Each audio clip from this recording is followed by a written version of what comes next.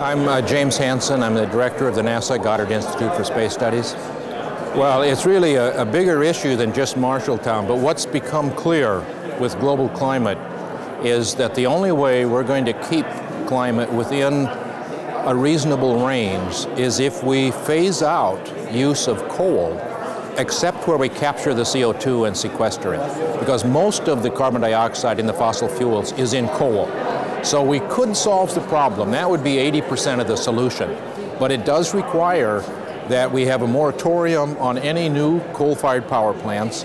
And over the next 25 to 30 years, we're going to have to phase out those that exist. And this is going to become very clear within the next several years. So it is just uh, plain silly to build a new one now because you're not going to be able to grandfather these in and say, oh, we've got it, we can keep it. Uh-uh, it's not going to work that way.